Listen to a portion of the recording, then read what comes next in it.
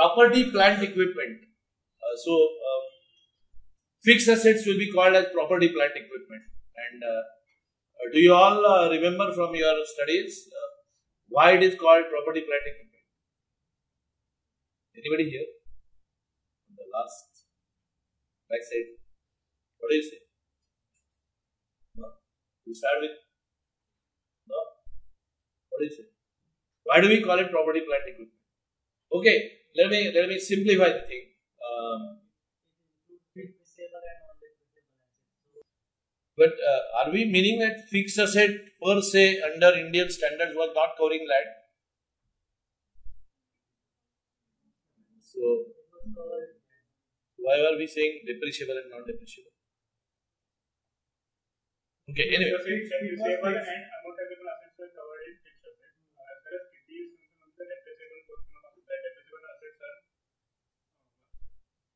Could be.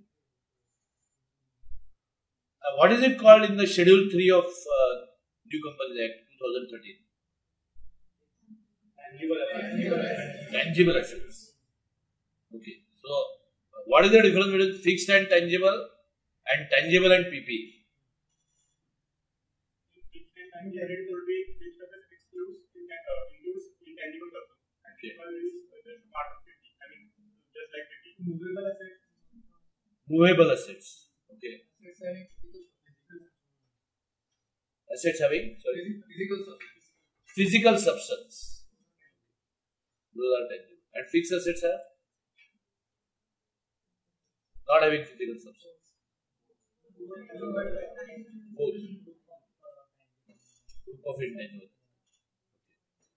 And uh, uh, you said something?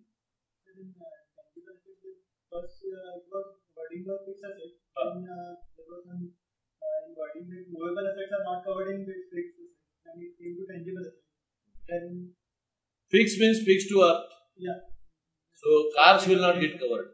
So that's why we said tangible. Okay. Now why tangible to PP?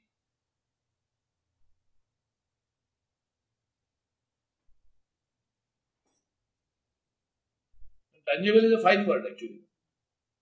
Tangible is in schedule 3. Then why call it PP?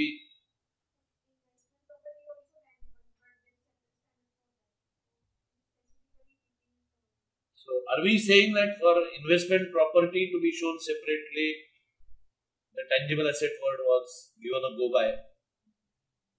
Could be one reason. Any other reason?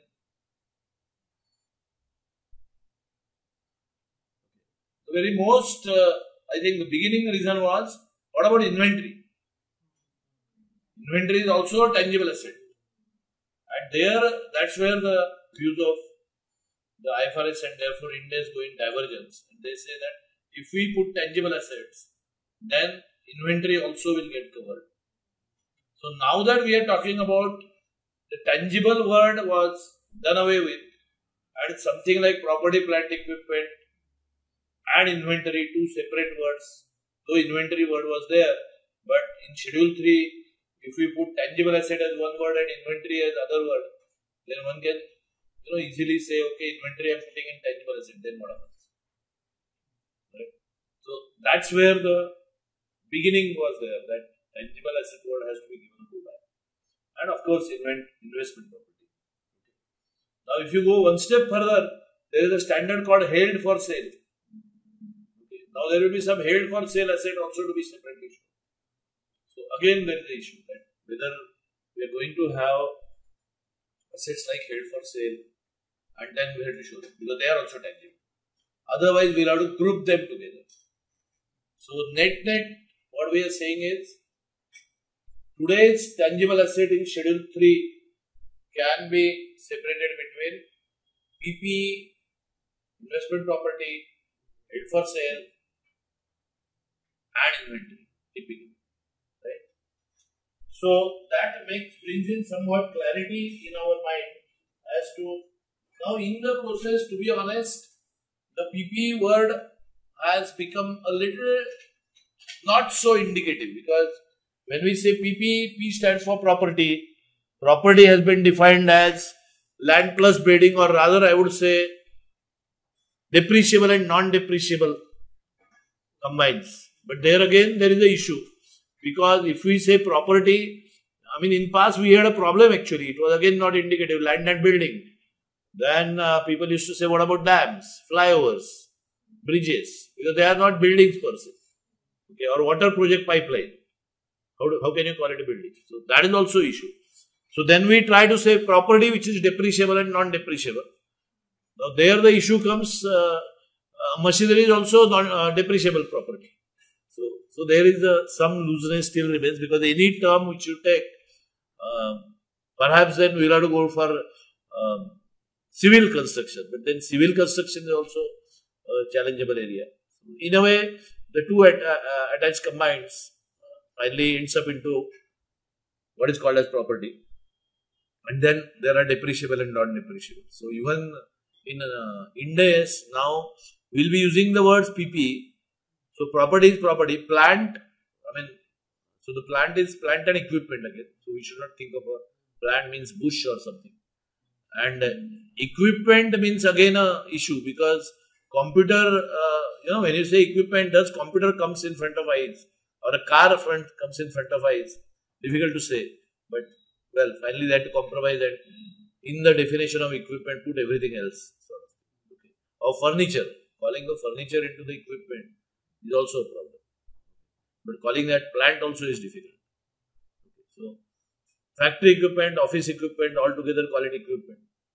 And then rest of the asset, push it under that.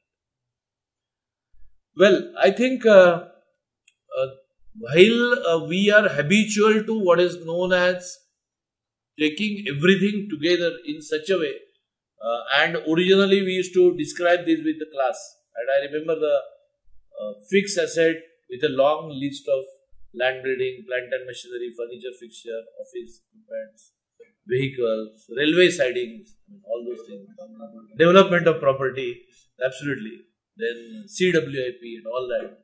I think now the things come much shorter and push them into the PP and perhaps work in progress. But yes, intangible asset is clearly and solely out, as you rightly said. Now that takes me to the uh, actually uh, a good, uh, interesting part of this thing. Uh, whole the amount of uh, the research work which has been done so far as the PP is concerned is goes in thousands of pages as a background material. I mean, and uh, particularly one is PP and another is financial instrument and off late revenue. But I think PP has a maximum because even in world over, the manufacturing sector is predominant. Though of course in India we are more do with the service sector. Right.